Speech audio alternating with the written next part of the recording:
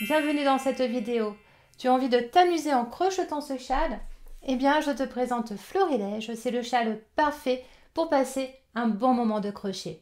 Je me présente si tu ne me connais pas encore, je suis Aglaé Laser, créatrice tricot et crochet. Je suis rédactrice du blog tricotcotier.com sur lequel tu peux trouver des astuces, des conseils et des tutos pour le tricot et le crochet. J'ai aussi créé un cours en ligne Je deviens crocheteuse. Ce cours en ligne permet d'apprendre le crochet. Il y a déjà plus de 250 personnes qui se sont inscrites et qui sont devenues crocheteuses grâce à ce cours. Alors dans ce cours, il y a 8 patrons de crochet. Et si je t'en parle maintenant, c'est parce que Florilège en fait partie. Alors peut-être que tu te dis, bien s'il est dans le cours, euh, pourquoi est-ce que tu m'en parles là? Eh bien, en fait, c'est parce que quand j'ai montré ce patron, quand j'ai montré ce modèle sur les réseaux sociaux, j'ai de nombreuses personnes qui m'ont contacté en disant Bah oui, mais Aglaé, euh, moi je sais déjà crocheter et ton, châle me plaît beaucoup. Euh, je ne vais pas m'inscrire à la formation puisque je, connais déjà le crochet et euh, j'en fais depuis très longtemps. Par contre, ton châle, j'ai très envie de le faire. Alors du coup, bah, je leur ai dit Ok, ok, je sortirai une version seule du châle et voilà, donc maintenant, Florilège est disponible directement sur mon blog en téléchargement immédiat. Je vais vous présenter deux versions de Florilège. La première, là, que je montre depuis le début. Donc cette version, j'espère que vous voyez assez bien. Cette version a été crochetée avec de la mille coloris baby de langue. C'est un fal, c'est un fal, c'est un, fil, alors châle, fil, c'est sûr qu'on se mélange un peu. C'est un fil qui, euh, qui, comme vous le voyez, change tout seul de couleur. Je n'ai pas changé de, couleur à chaque rang. C'est le fil qui fait ça. Je vais vous en montrer. Voilà ce qui me reste de mes pelotes. Donc j'ai utilisé quatre pelotes de ce fil et vous voyez que en fait le fil est directement multicolore.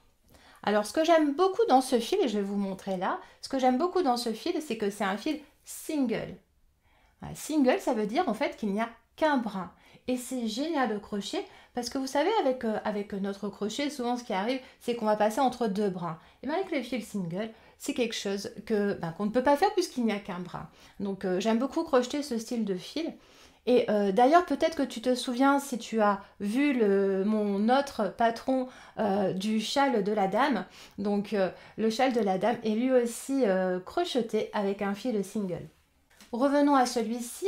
Donc, je l'ai crocheté avec de la langue 1000 coloris baby. J'ai utilisé 4 pelotes.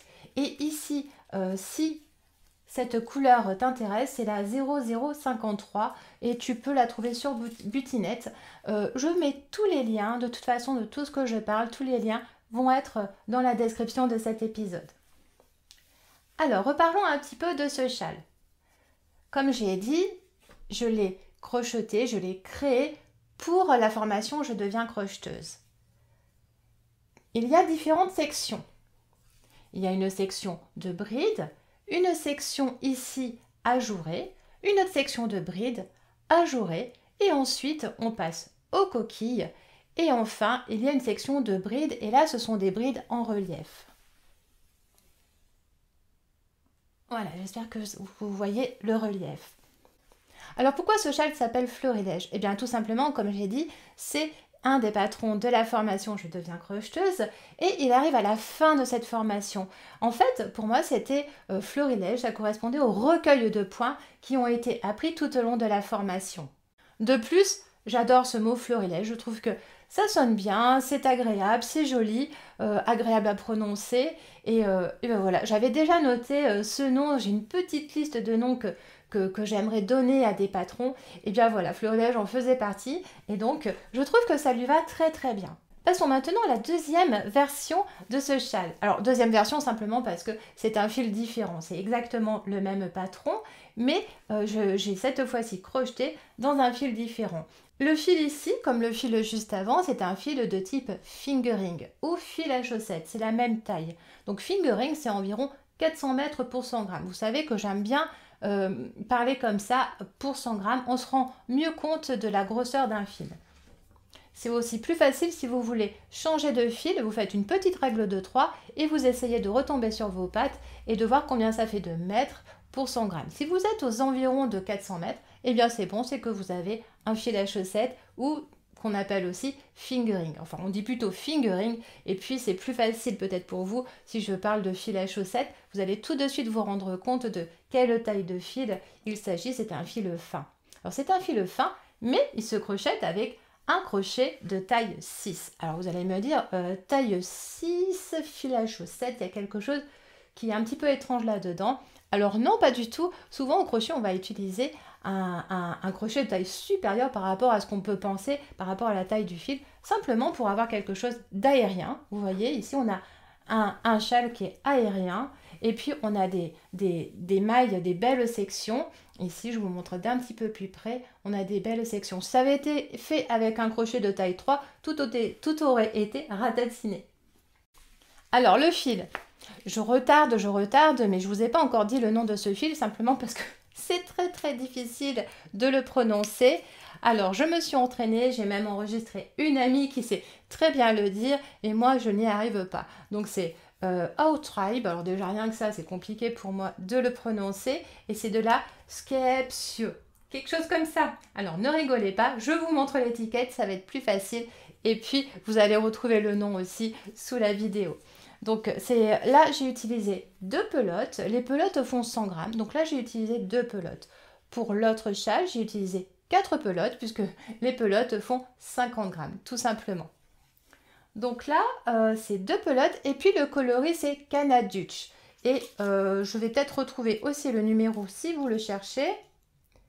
C'est la couleur 975. Donc 975 Canaduch si vous voulez faire exactement le même châle que celui-ci. Dans cette catégorie Outribe, il y a tout un tas de couleurs. Elles sont toutes plus jolies les unes que les autres. C'est simple, c'est assez difficile de choisir. C'est un petit peu comme la mille coloris. J'adore. Ce sont, des fils qui se prêtent très très bien euh, euh, euh, pour faire des châles comme ça qui vont changer de couleur. Et ce que je trouve très intéressant, je vais vous remontrer avec l'autre, c'est que comme je vous disais, on a l'impression que ça change de couleur à chaque rang. Faut faire attention avec les fils multicolores parce que parfois on a des fils multicolores qui ne vont pas donner cet aspect mais qui vont donner quelque chose de pas très joli. C'est-à-dire que par exemple on va se retrouver avec tout un tas de jaune d'un côté, tout un tas de vert d'un côté et finalement c'est pas harmonieux. Ici, vous pouvez voir que c'est tout à fait harmonieux. Là, aucun problème. On a vraiment l'impression d'avoir, euh, bah, comme je vous ai dit, un changement de couleur à chaque rang alors que ce n'est pas du tout le cas. Alors, quel matériel avez-vous besoin pour crocheter florilège? Le florilège, d'ailleurs, que je vais mettre autour de mon cou parce que je ne sais pas si vous avez remarqué, mais il va très très bien, celui-ci, avec mon petit pull tout simple.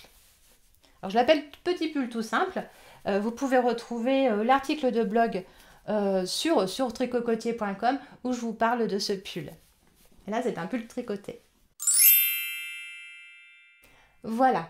Alors, quel matériel pour crocheter florilège Eh bien, vous avez besoin de fil, on en a parlé, on, vous avez besoin d'un crochet de taille 6 et puis vous avez besoin du patron. Alors, où vous procurez le patron? Le patron est disponible sur mon blog. Vous allez sur le blog, vous mettez florilège dans la barre de recherche ou vous allez dans le menu puis vous allez dans patron, vous allez voir euh, boutique patron et là vous allez tomber sur sur l'article qui présente Florilège. Dans cet article, vous allez avoir tous les liens pour ensuite vous procurer le patron. Il est disponible aussi sur Ravelry si vous préférez euh, le prendre directement sur Ravelry. Mais sachez que vous pouvez passer par mon blog, euh, ce qui est préférable pour moi en fait. Mais vous pouvez passer par mon blog et ensuite me demander de vous le mettre dans votre bibliothèque Ravelry. Je vous le fais sous 24 à 48 heures. Alors, qu'allez-vous trouver dans le patron? Eh bien, dans le patron, vous allez trouver des explications très détaillées. Alors, c'est un châle qui a été créé pour des débutantes, donc il est très détaillé. Euh, de toute façon, tous mes patrons sont très détaillés, Ce qu'on me dit, c'est qu'ils sont toujours très bien expliqués, donc je commence à croire que c'est vrai et euh, je suis très très heureuse puisque c'est vraiment ce que je veux. En fait, je veux que chaque patron soit accessible à un maximum de personnes. Alors, justement, pour ce patron, vous allez trouver au départ différentes façons de le commencer. Il se commence par un anneau magique. Un anneau magique, il y a plusieurs façons de le faire et si on ne sait pas le faire, il y a une alternative à l'anneau magique, c'est de faire une chaînette de quelques mailles et de fermer avec une maille coulée.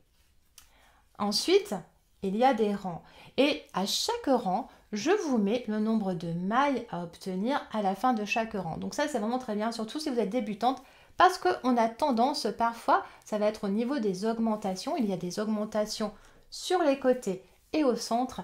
On a parfois au niveau euh, du centre, tendance peut-être à oublier une bride. Alors tout ça, c'est expliqué. Il y a aussi des photos quand c'est nécessaire. Et puis vous voyez, ici, il y a une section ajourée et vous allez remarquer que les brides sont bien alignées les unes au-dessus des autres. Pour obtenir cet effet, il y a une technique que j'utilise depuis longtemps. Je suppose que c'est une technique officielle. Je l'ai inventée, mais je pense que d'autres personnes l'ont aussi inventée. Et euh, c'est en pratiquant, en fait, on teste des choses. Eh bien, euh, je vous montre en photo comment obtenir des brides bien alignées les unes au-dessus des autres. Et cette technique, vous allez pouvoir l'utiliser dans tout un tas de projets une fois que vous la connaissez.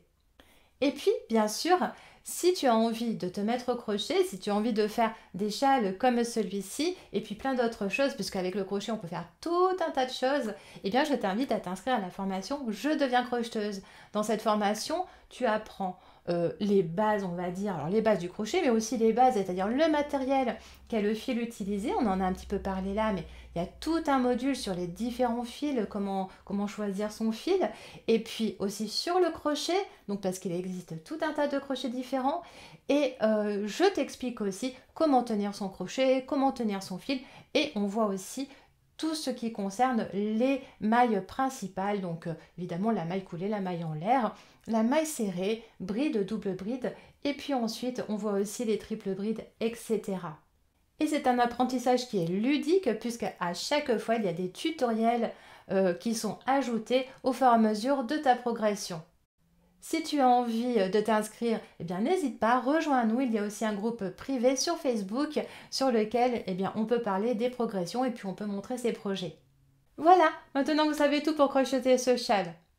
Alors, j'espère que tu le mettras sur ton crochet, que tu passeras un bon moment parce que c'est très important et surtout n'hésite pas à partager avec moi tes photos sur les réseaux, tague-moi, euh, c'est facile, je suis toujours au même nom, Aglaé Laser sur les réseaux et je serai ravie de voir ta version du châle florilège. Si tu as aimé cette vidéo, eh bien je t'invite à mettre un j'aime, ça aide la chaîne à se faire connaître et je suis une toute petite chaîne, alors j'ai besoin de monter dans l'algorithme YouTube et, euh, et, si tu as envie de voir d'autres vidéos, eh bien je t'invite de la même manière à t'abonner à ma chaîne, activer la cloche, ça active les notifications et ainsi tu es prévenu à chaque fois que je sors une nouvelle vidéo.